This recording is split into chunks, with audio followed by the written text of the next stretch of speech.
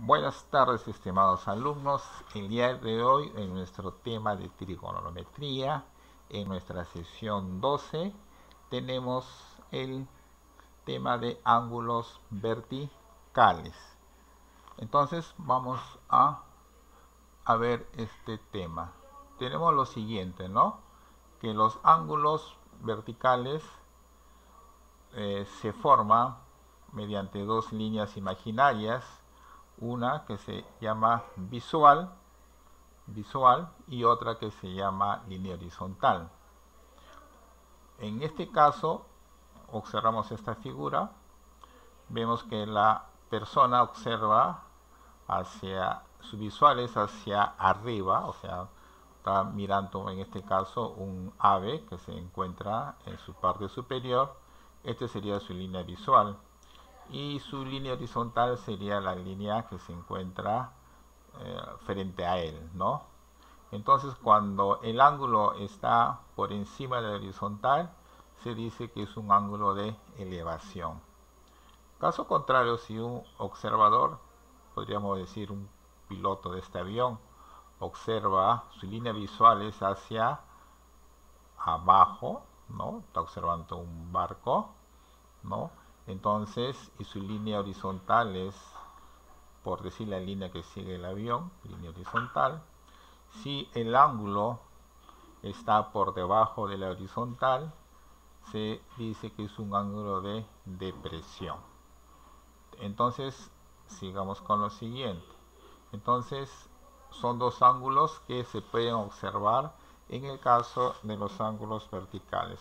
Ahora veamos con con ejemplos eh, para complementar esta parte teórica. Dice, desde la parte superior de un acantilado de 80 metros de, de, altura, ¿no? en estos problemas, de estos temas, es necesario que ustedes hagan sus dibujos, para que ustedes puedan de ahí eh, sacar o dibujar un triángulo rectángulo. Entonces dice también que la altura es de 80 metros. Eh, de ahí observa, observa una lancha. ¿no? Entonces este es su, su línea horizontal. Este va a ser su ángulo de depresión. Acá estamos, ya estamos tratando de dibujar nuestro triángulo, ¿no? Entonces acá observamos que es 30 grados, viene a ser nuestro ángulo de depresión de 30 grados. ¿no? Esta es la línea horizontal, ¿no? Entonces, como el ángulo está debajo de, de, debajo de la línea horizontal, es un ángulo de depresión. Por otra parte, nosotros por nuestros conocimientos de geometría sabemos que cuando tenemos dos líneas paralelas cortadas por una secante se forman ocho ángulos y estos ángulos son alternos internos, por lo tanto, eh, yo puedo deducir que este ángulo vale 30 grados. Entonces ya tengo formado mi triángulo rectángulo y lo que nos piden es la distancia del pie del acantilado hacia la lancha. En este caso es 11. Es X, es lo que, el valor que nos están solicitando. ¿No? Entonces nosotros por nuestros conocimientos anteriores en este curso, sabemos que cuando tenemos un ángulo conocido, tenemos también eh, un, lado desconocido y otro lado conocido, podemos relacionar razones trigonométricas con esos lados. Yo voy a relacionar la cotangente, ¿no? ¿Por qué la cotangente? Porque conozco o voy a voy a tratar con catetos. Como no conozco la hipotenusa, no utilizo otras razones trigonométricas. En este caso voy a utilizar la cotangente. Entonces yo afirmo, cotangente por definición es cateto adyacente sobre cateto opuesto. Entonces sería X que divide a 80. Pero también sabemos por nuestras razones trigonométricas de ángulos notables que cotangente de 30 es igual a raíz de 3. Por lo tanto, yo puedo formar esta ecuación. A las finales me sale que x es igual a 80 que multiplica raíz cuadrada de 3. Estos problemas algunas veces se pueden resolver también con, como, como geometría también, pero lo estamos, estoy utilizando eh, la teoría de trigonometría, por si acaso. También se puede resolver por eh, geometría también, cuando son con ángulos conocidos. Ya, sigamos acá. Siguiente problema. Dice Carlitos observa una torre. Ahí está la torre. Con un ángulo de elevación. Acá este el punto A, es el punto de observación. Entonces observa, dice, eh, observa una torre con un ángulo de elevación. Acá veo punto B. Acá este, la distancia que hay de, del punto de observación hacia la torre. Y dice que tiene un ángulo de elevación de 45. 45, ¿no? Acá está el ángulo de elevación. Luego dice, camina 8 metros hacia la torre. Entonces vamos a suponer que del punto A al punto D camina 8 metros. Y nuevamente observa la torre. ¿no? Acá ya estoy formando mis, mis triángulos. ¿no? Dice que la torre mide 32 metros y cuando yo observo, luego de haber caminado los 8 metros, observo nuevamente la torre con un ángulo de elevación alfa. Ese ángulo alfa es, el, es la incógnita, es lo que se nos está solicitando en este problema. Entonces vamos a tratar de hallar ese valor alfa. Ahora, nosotros viendo la figura, vemos que este ángulo es 45, acá es 90, por lo tanto este ángulo es 45. Entonces es un triángulo rectángulo isósceles. Como es isósceles, tiene dos lados iguales. Los dos lados iguales serían BC y AC. Por lo tanto, AC vale 32 metros. Y a partir de ahí yo podría hallar la distancia de D a C. Esto los, acá se observa que triángulo ABC es isósceles. Luego AC tiene que ser 32. Por lo tanto, DC va a ser igual a 32 menos 8, que es igual a 24 metros.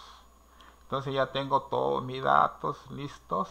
Entonces vamos a tratar de hallar la medida del ángulo alfa.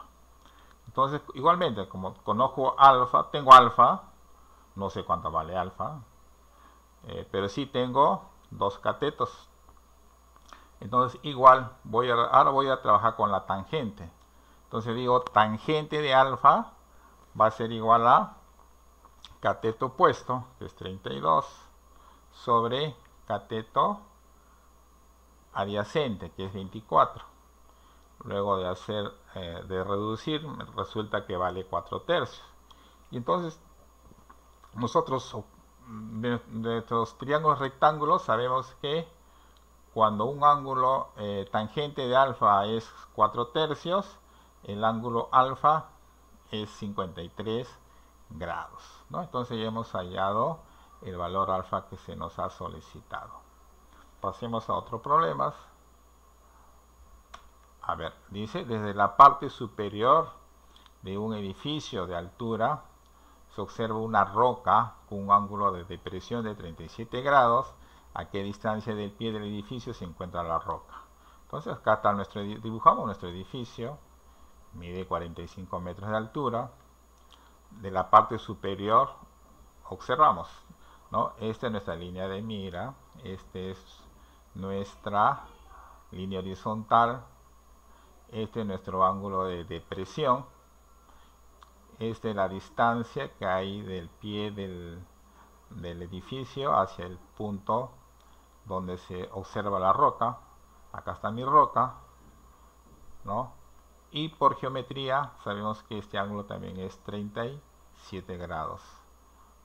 Luego ya tengo todos mis datos, ¿no?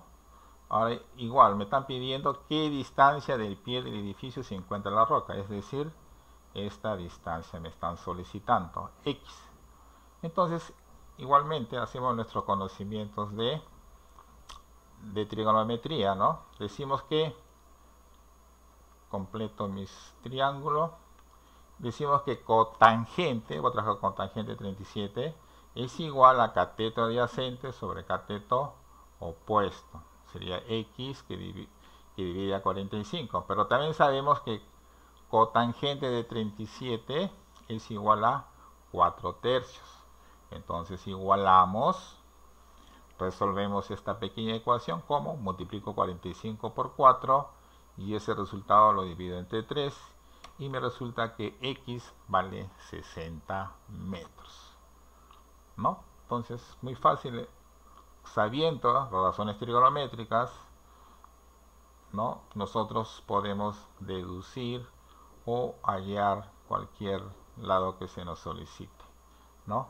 Porque en sí esa es la razón de la trigonometría. La trigonometría trabaja con triángulos, ¿no?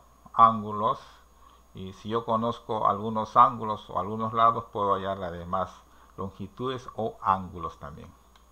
Sigamos con otro ejemplo. Dice, desde un punto en el suelo, hasta el punto en el suelo, se observa la parte superior de un poste con un, poste. El poste mide 4 raíces de 3 metros. Dice, eh, se observa, esta es la distancia del punto de observación hasta el poste.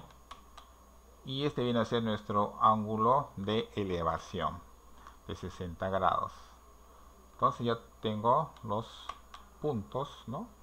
Esta es la distancia de X a este punto, ¿no?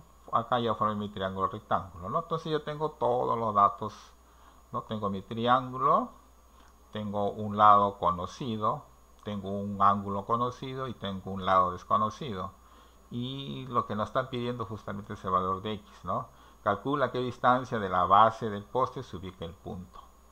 Entonces, de igual manera, trato de relacionar alguna razón trigonométrica con, con estos lados. Ir yo digo ¿no? que cotangente de 60 es cateto adyacente sobre cateto opuesto. Entonces sería x que divide a 4 raíz de 3. Pero cotangente de 60 es 1 sobre raíz de 3. Y luego hago mis operaciones. Acá yo puedo anular raíz de 3, raíz de 3. 4 pasa a multiplicar.